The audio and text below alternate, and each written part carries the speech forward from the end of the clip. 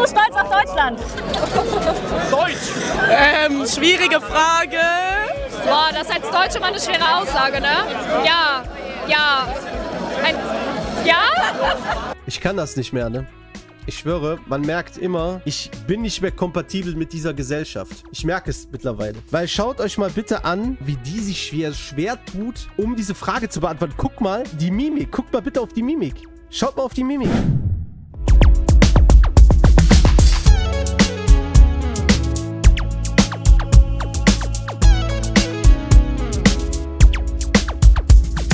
EM-Fieber ist ja nach wie vor da, obwohl ich so das Gefühl habe, naja, so richtig im EM-Fieber ist man nicht. Aber die öffentlich-unrechtlichen Medienanstalten, die sehen da draußen natürlich eine ganz, ganz große Gefahr, weil sie glauben nämlich dadurch, dass da draußen jetzt immer mehr Leute mit Deutschlandfahnen ja hin und her schwenken, dass eine gewisse Stimmung wieder kippen könnte. Ja, jetzt fragt ihr euch da draußen natürlich vollkommen zurecht, was denn für eine Stimmung? Naja, die Leute da draußen könnten wieder zu Nationalstolz werden. Ja, kein Scherz. Ja, wir hatten es hier letztens noch, als wir uns das Video von Clownwelt angeschaut haben, äh, wo Sarah Busetti auch natürlich diese unfassbare Angst geäußert hatte. Aber es ist tatsächlich nicht nur Sarah Busetti, die sich diese unfassbare Frage stellt. Nein, die öffentlich-unrechtlichen scheinen jetzt nochmal nachzuliefern, denn jetzt gibt es einen Beitrag darüber, ja, wie denn generell die Deutschen über Nationalstolz denken. Ja, sie haben sich es wirklich zur Aufgabe gemacht, die Leute draußen zu befragen, was sie von Nationalstolz halten. Ja, und das habe ich mir da gedacht, das wäre doch jetzt doch perfekt für diesen Stream hier heute. Ja, und dann schauen wir uns doch mal, was die Leute da draußen jetzt sagen, was sie denn generell von Nationalstolz halten und vor allen Dingen, wie es generell dem Deutschen so liegt, überhaupt Nationalstolz zu äußern, weil ihr wisst ja, das ist ja immer ein unfassbares Problem hier in Deutschland. Und ich würde mal sagen, wir legen los. Was ist das eigentlich mit uns und Deutschland? Ich empfinde keinen Stolz über Deutschland, keine Ahnung. Oh, da wäre direkt wieder ein richtiger Wichtig, direkt in den ersten Sekunden. Also ich empfinde keinen Stolz über Deutschland. Ach, keine Ahnung. Eieieiei. Es ist wirklich, es ist unfassbar. Man muss hier wieder an der Stelle wirklich eine Sache sagen. Es ist unglaublich. Ja, es gibt kein Land der Welt, beziehungsweise es gibt keine Einwohner eines anderen Landes in dieser Welt, die sich so sehr hassen wie die Deutschen. Es ist unglaublich, was diese Umerziehung gebracht hat. Die Deutschen scheinen wirklich Angst zu haben, stolz auf ihr Land zu sein. Wirklich, es ist, es ist atemberaubend, das Ganze. Massenansammlungen von Deutschland fahren, erstmal ja, einen Schrecken auslösen können. Die einzigen, die eigentlich ein großes Problem mit Deutschland haben, sind die Deutschen. Bist du stolz auf Deutschland? Ähm, schwierige Frage. Ey, wieso reagiert man da so? Ey, es ist so geil, ne? Wieso reagiert man denn da so? Bist du stolz auf Deutschland? Äh.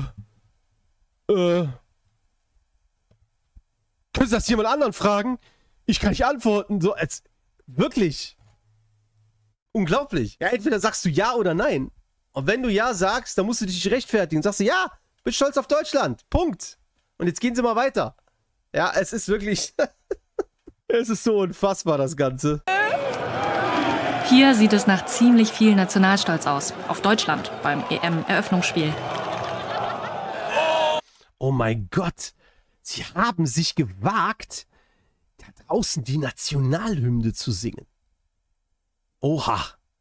Ja, also dass da nicht schnellstmöglich das SEK eingeschreitet ist, um die ganzen Leute dort erstmal schön zu verprügeln, um sie dann von der Fanmeile zu jagen. Also es äh, ist schon sehr kurios, dass das nicht passiert ist. Wahnsinn. Ohne Deutschland wäre gar nichts los. Ohne Deutschland wäre gar nichts los. Stolz Deutschland? Stolz will ich nicht sagen, aber ich bin glücklich, hier in Deutschland zu leben. Stolz würde ich nicht sagen, aber ich bin sehr glücklich, hier in diesem Land zu leben. Man merkt richtig krass, ja, wie, die, wie es denen schon so eingetrichtert worden ist. Sollte die Frage mal kommen, ja, dann antworte so, dass du nicht stolz auf das Land bist, aber du kannst ja sagen, dass du, dass du gerne hier lebst. Aber muss aber jetzt auch wirklich fair sein. Ähm, man kann aktuell nicht wirklich stolz auf das Land sein, aber das hat ja die Politik zu verantworten da draußen. Ja, das ist ja aufgrund dieser wirklich unglaublich fehlerhaften Politik, aber man kann ja trotzdem stolz auf die Vorfahren sein. Ja, selbstverständlich. Bist du stolz auf Deutschland? Deutsch. Ähm, schwierige Frage. Boah, das ist als Deutsche mal eine schwere Aussage, ne? Ja, ja. Ein, ja? Ich kann das nicht mehr, ne? Ich schwöre, man merkt immer, ich bin nicht mehr kompatibel mit dieser Gesellschaft. Ich merke es mittlerweile. Weil schaut euch mal bitte an, wie die sich schwer, schwer tut, um diese Frage zu beantworten. Guck mal, die Mimik. Guckt mal bitte auf die Mimik. Schaut mal auf die Mimik. Ja? Habe ich jetzt die richtige Antwort gegeben? So, ja, entweder bist du stolz oder nicht. So, achtet mal darauf. Sie fragt sich in dem Moment, hab ich denn die richtige Antwort gegeben? Es ist unglaublich. Oder merkt ihr, wie die Erziehung bei den Leuten gefruchtet hat? Unglaublich. Deutsch. Ähm, schwierige Frage. Boah, das ist als Deutsche mal eine schwere Aussage, ne? Ja, ja. Ein, ja? Ja, auf die Werte. Ja, ja, ja. So, jetzt lass mich doch in Ruhe. Es ist, wirklich- es ist unglaublich. Es ist, das ist unfassbar. Ja, ja. Ein, ja? Ja, auf die Werte, die Deutschland vertritt, die demokratischen Werte. Natürlich. Würdest du es auch außerhalb der EM sagen? Sicherlich. Würdest du auch außerhalb der EM mit so einem Trikot rumlaufen? Ja, mache ich tatsächlich. Keine Ahnung. Wow, das war aber mal der erste, Uiuiuiui, der sich hier getraut hat, mal was einigermaßen zu sagen, ja, auf die demokratischen Werte. Da frage ich mich, hör mal, wo war der in den letzten vier Jahren, ja? Wo war der da? Also zumindest in den ersten zweieinhalb Jahren der letzten vier Jahre, wo war der da? Ja, dass es so eine Antwort gibt. Würdest du auch außerhalb der EM mit so einem Trikot rumlaufen? Ja, mache ich tatsächlich. Keine Ahnung. Ich weiß nicht, ob ich stolz auf Deutschland bin. Aber warum bist du nicht stolz? Ich denke nicht so drüber nach. Ich hab, empfinde keinen Stolz über Deutschland. Keine Ahnung. Also wir können immer Ach komm, ich muss jetzt nicht zu jedem was sagen. stolz auf uns sein, finde ich. Wahrscheinlich weniger stolz als andere Nationen auf ihr Land sind. Warum? Frage. Ich jetzt direkt die Gegenfrage gestellt. Warum? Warum? Warum? Warum denn jetzt? Da fragt doch mal nach, warum. Und dann hätte, ich schwör's euch, und dann hätte der höchstwahrscheinlich wäre der wieder im Zweiten Weltkrieg gekommen. Ja, aufgrund dessen Zweiter Weltkrieg, ja, das interessiert keinen mehr. Das ist passiert. Wir leben mittlerweile im Jahre 2024. Du kannst die Vergangenheit nicht verändern. Du musst die Gegenwart verändern und vor allen Dingen die Zukunft besser machen. Wa- Was können wir dafür, was damals war? Und man muss ja auch hier fairerweise dazu sagen, das war ja Deutschland nicht immer auch alles alleine. Da waren ja auch noch andere Länder, ne, die auch ihre wirklich fragwürdigen Sachen gemacht haben. Ne? Ist ja nicht hier immer nur so, Deutschland war immer alles. Klar, was passiert ist, war schlimm. Keine Frage. Müssen wir nicht drüber dis diskutieren. Ich distanziere mich ja auch generell von Kriegen. Aber so, warum muss man denn immer wieder auf diese Zeit zurückgehen? Das ist passiert. Ist, was passiert ist, ist passiert. Du kannst es nicht mehr. Sei doch, sei doch stolz, dass wir so lange in Frieden leben, ja. Also zumindest noch. Ja, also da wird ja auch wieder ordentlich gezündelt derzeit. Aber warum kommst du denn immer wieder mit dieser Zeit? Keiner von uns kann was dafür, was damals passiert ist. Keiner. Unfassbar. Das wirklich so? Für das EM-Spiel Italien gegen Albanien sind viele der Fans nach Dortmund gekommen. Die albanischen Fans feiern schon Stunden vor dem Anpfiff ihr Land.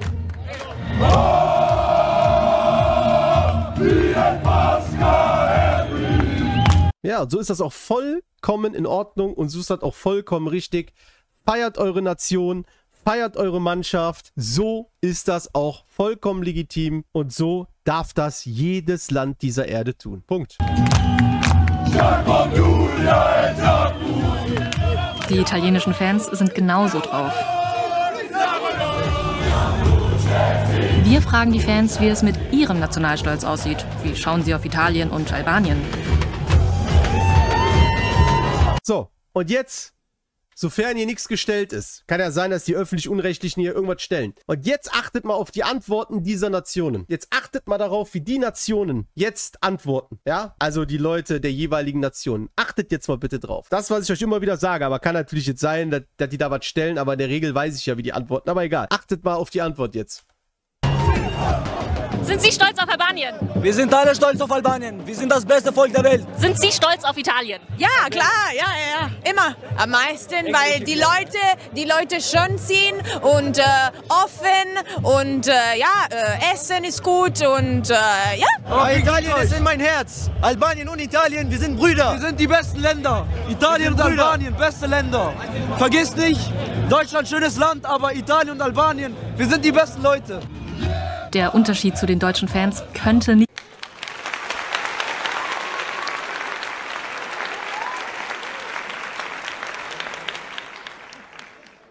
Ja, da seht ihr, dass ich euch nicht veräpple, was ich euch hier immer erzähle, weil ich weiß ja ganz genau, wie die immer antworten. Ich kenne mich ja aus. Ich bin ja jemand, der auch multikulturell agiert. Ja, so.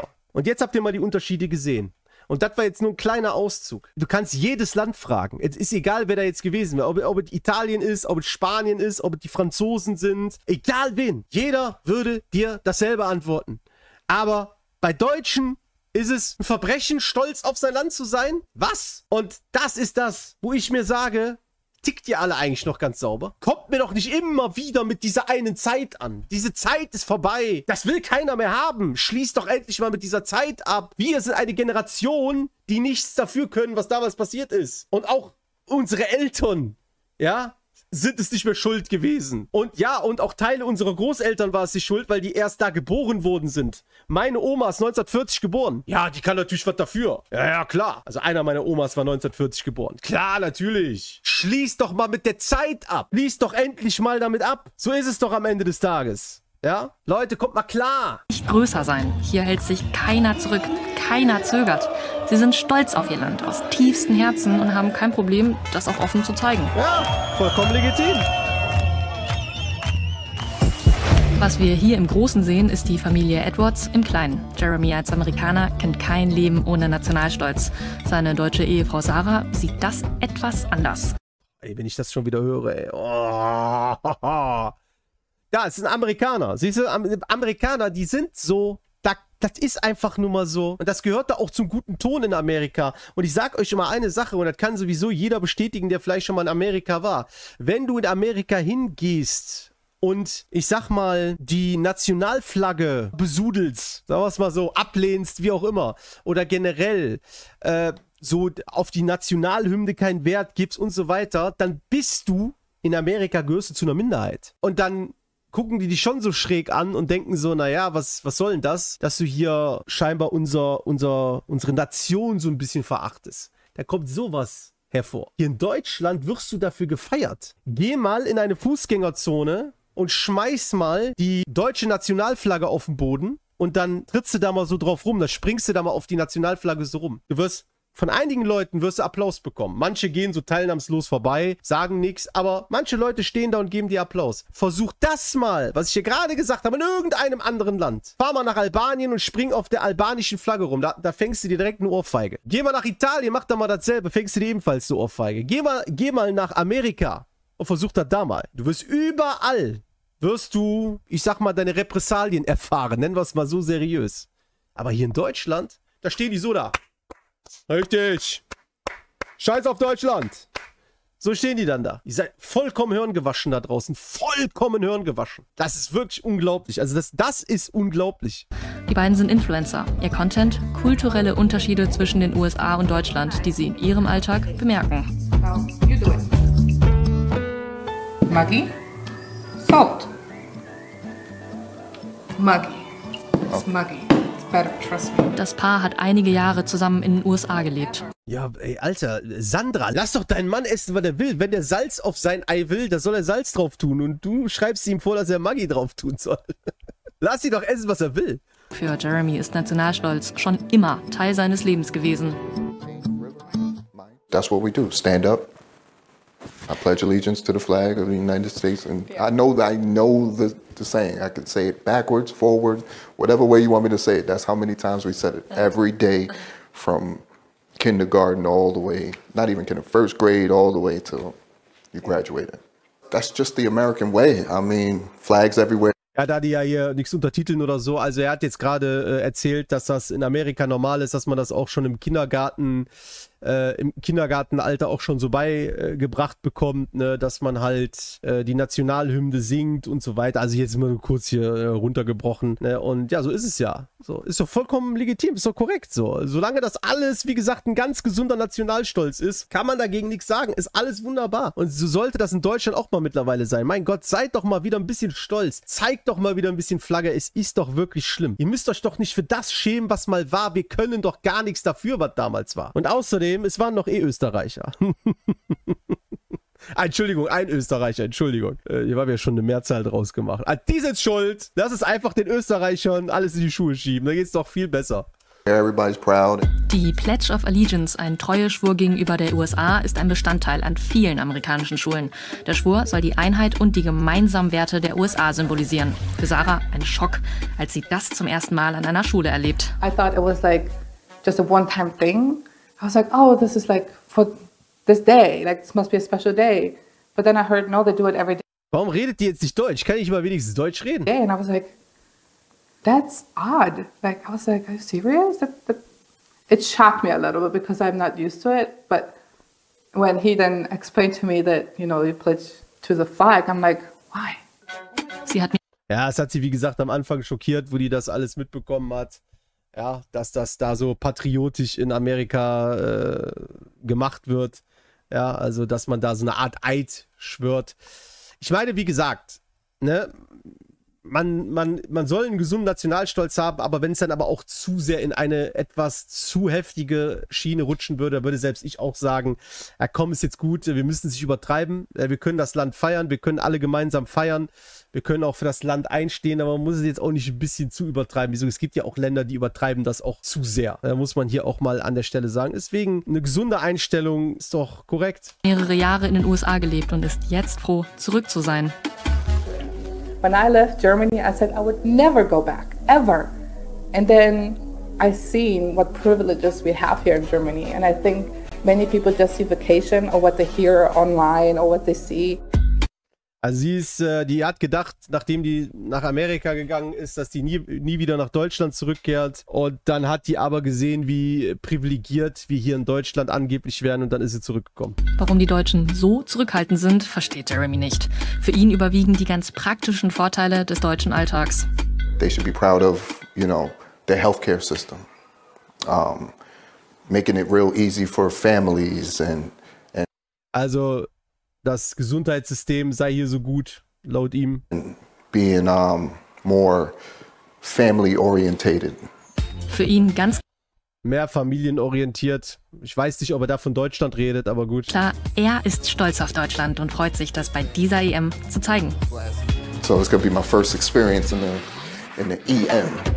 Wieso ist unser Nationalgefühl heute, wie es ist? Mr. Listen to Go hat sich die Geschichte des Nationalstolzes der Deutschen mal für uns angeschaut. Oh nee, jetzt kommt auch noch Mr. Wissen to go. Als ob es nicht schon schlimm genug wäre. Einen deutschen Staat wie heute gibt es nicht schon immer. Die Geschichte ist kompliziert. Wir zeigen euch das mal in ein paar Etappen. 1871 wird das Deutsche Reich gegründet, aus vielen kleinen Einzelstaaten, die das Gefühl hatten, wir gehören zusammen. Zum Beispiel, weil sie alle Deutsch gesprochen haben und eine gemeinsame Kultur hatten. Guck mal, ne, das ist immer wieder so dasselbe, ist, dass man so, ja, jetzt machen wir ein bisschen Geschichte, jetzt fangen wir bei 1871 an und jetzt erkläre ich euch mal, warum das hier so kompliziert ist. Ja, mag ja sein. Mag ja jetzt alles sein, das, was er jetzt zeigt, dass das alles stimmt. Wie gesagt, zweifle ich nicht an. Aber Herr Mr. Wissen to go, das, was sie jetzt zeigen, ist alles Vergangenheit. Das, was jetzt gerade ist, ist die Gegenwart. Und ich sag mal so, es zählt, was in der Gegenwart ist und nicht was irgendwann mal war, ja? Weil dann können wir nämlich immer damit anfangen. Da können wir sagen, ja, ich wäre ja eigentlich Millionär, aber die richtigen Zahlen kamen gar nicht. Ja, jetzt würde ich ja die richtigen Zahlen schreiben, wenn ich die Zeit zurückdrehen könnte, hätte ich im Lotto gewonnen. Das, das bringt halt nicht. Du kannst nicht in die Vergangenheit zurückreisen und alles wieder besser machen. Du musst die Gegenwart gut machen und die Zukunft noch besser. Und so erreichst du was Gutes. Es gab auch schon eine Gemeinsamkeit früher, das Heilige Römische Reich deutscher Nation. Im Deutschen Reich haben jetzt alle denselben Kaiser und zum ersten Mal eine gemeinsame Verfassung. Der Stolz auf diesen gemeinsamen Staat, der kommt damit quasi von allein. Nur oft ist damit auch noch ein anderes Gefühl verbunden, nämlich die deutsche Nation fühlt sich anderen Nationen gegenüber überlegen. Andere Staaten machen das auch. Alle wollen mehr Macht. Das Deutsche Reich ist mitverantwortlich für den Ersten Weltkrieg. Die deutsche Nation scheint das aber noch mehr zusammenzubringen. Die Deutschen kämpfen gemeinsam, am Anfang mit voller Begeisterung und Es ist so unfassbar, ne? Ich schwöre, ich kann gar nichts mehr dazu sagen und es stresst mich jetzt gerade auch und ich will auch nichts mehr dazu sagen. Ich lasse es jetzt einfach weiterlaufen. Es ist unfassbar. Ja, ich schwöre, es wirklich, ich kann es alles nicht mehr ertragen und nicht mehr hören. Es ist immer dasselbe. Merkt ihr langsam, wie langweilig das ist und wie offensichtlich das alles ist? Man scheint in unserer Geschichte nichts anderes zu finden. Ne? Man kommt immer wieder mit dem Ersten und Zweiten Weltkrieg um die Ecke. Merkt ihr das? Wo man also denkt, Alter, leg doch mal eine andere Platte auf dann zeigt doch mal, wo wir sonst noch so schlecht waren, dass wir dann angeblich nicht nationalstolz sein können. Soll ich euch eine Sache sagen, die finden nichts. Das ist ja das Witzige dabei, die werden nichts finden. Weiß, als ob all die anderen Länder dieser Welt, ja, die, sind, die haben alle einen unfassbar guten Ruf. Die haben gar keinen Fleck auf ihrer Weste. All die anderen Nationen, die sind alle gut. Nur die Deutschen. Ah ja, die Deutschen, die haben ja da alles. Ja, ja, ja. Ich meine, guck mal, will jetzt nichts sagen, ne? Guck mal die Amerikaner an. Schaut mal auf deren Weste, unter anderem die Amerikaner. Ganz wichtig. Schaut mal auf deren, ach so krass, makellose Weste. Wo die überall Krieg führen. Manchmal glaube ich sogar, wissen die gar nicht mehr, wo die überall Krieg führen. Da müssen die nochmal nachgucken, da gucken die auf die Liste.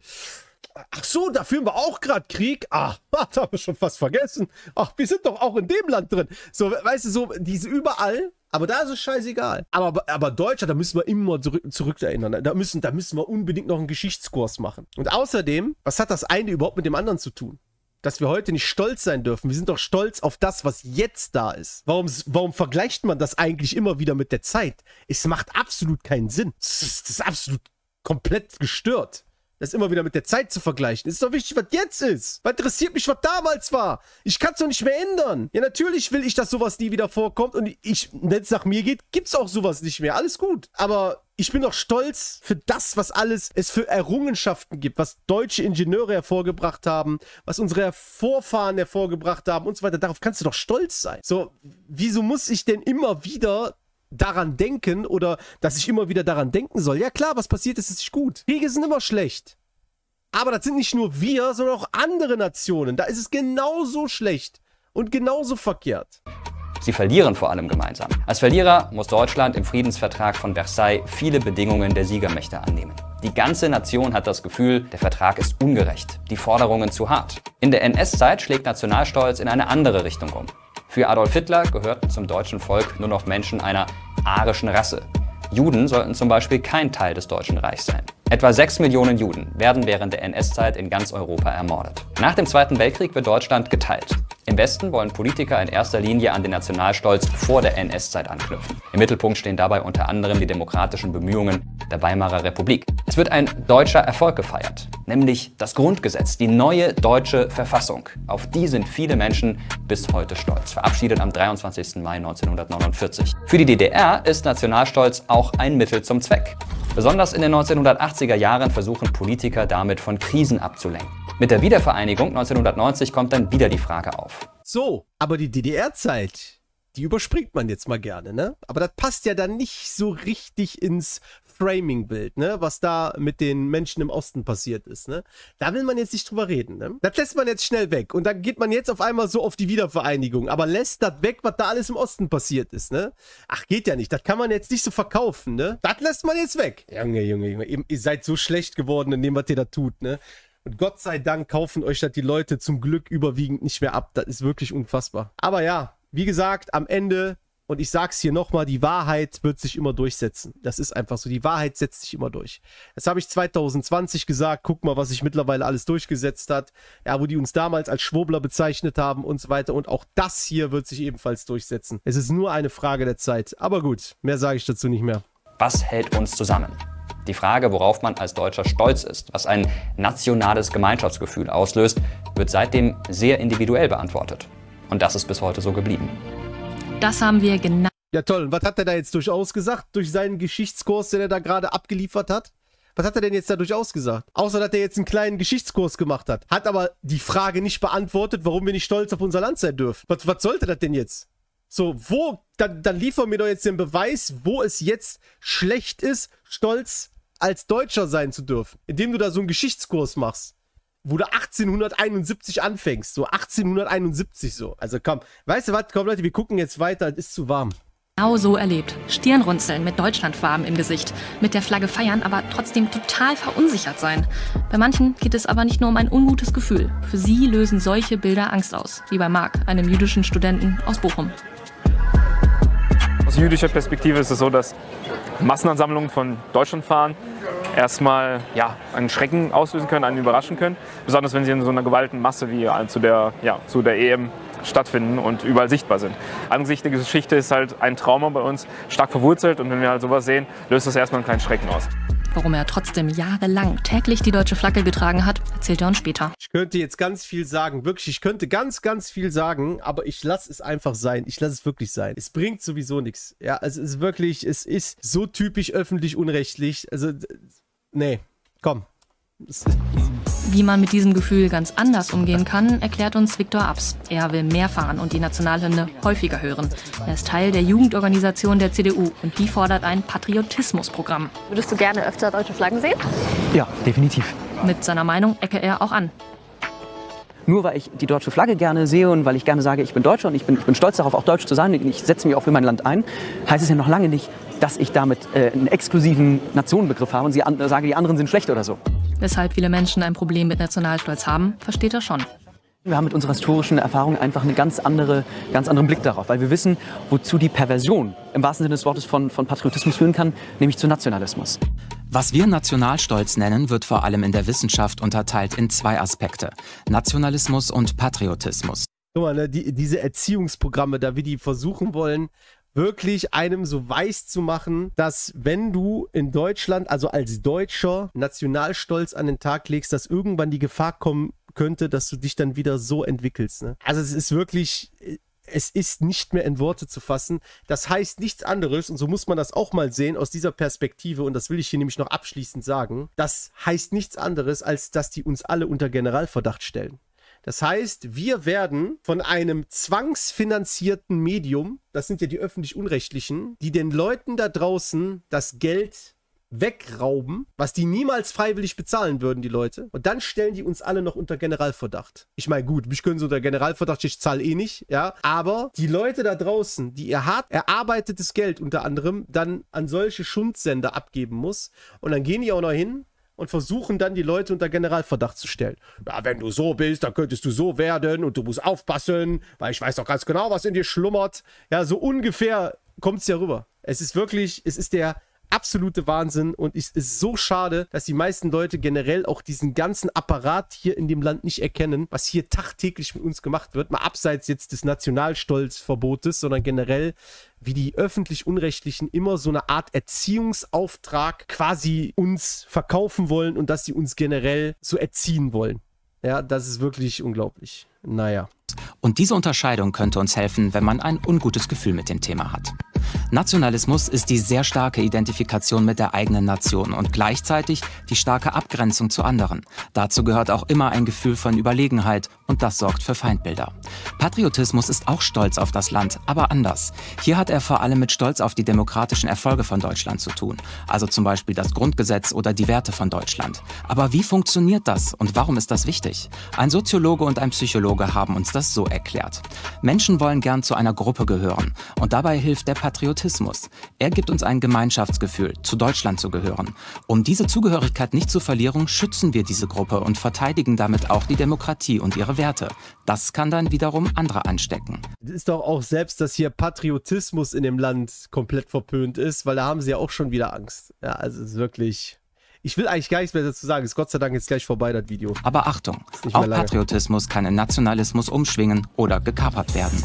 Also Achtung, Vorsicht, Freunde, auf keinen Fall, am besten gar nichts von beiden. Ja, seid nicht mehr stolz auf euer Land und patriotisch bitte auch nicht. Lasst es einfach sein. Ja, bitte. Es ist einfach zu gefährlich, dass ihr euch wieder zu schlechten Zeiten hin entwickeln könntet. Für Viktor ist Patriotismus ein Weg, um die Spaltung in der Gesellschaft zu überwinden, Menschen zusammenzubringen. Es geht um die Antwort, um ein gemeinsames Grundverständnis, wer bin ich, wo will ich hin ähm, und wer wollen wir als Gemeinschaft sein. Die großen Freiheiten und die Rechten und Pflichten, die wir in Deutschland haben, äh, das gibt es nirgendwo sonst auf der Welt. Und da können wir verdammt dankbar sein und verdammt stolz drauf sein. Und es gibt viele, die uns darum beneiden. Und vielleicht sollte uns das auch ein bisschen bewusst sein. Die einzigen, die eigentlich ein großes Problem mit Deutschland haben, sind die Deutschen. Das kann sich aber verändern und das zeigt Marc, der jüdische Student aus Bochum. Nee, eigentlich ist das gar nicht so. Die einzigen, die ein Problem mit Deutschland haben, sind die Massenmedien, die das immer wieder den Deutschen einreden und die Politiker, die ebenfalls viel dafür tun, dass sich die Deutschen schuldig fühlen. Ein Wendepunkt war die Bundeswehr.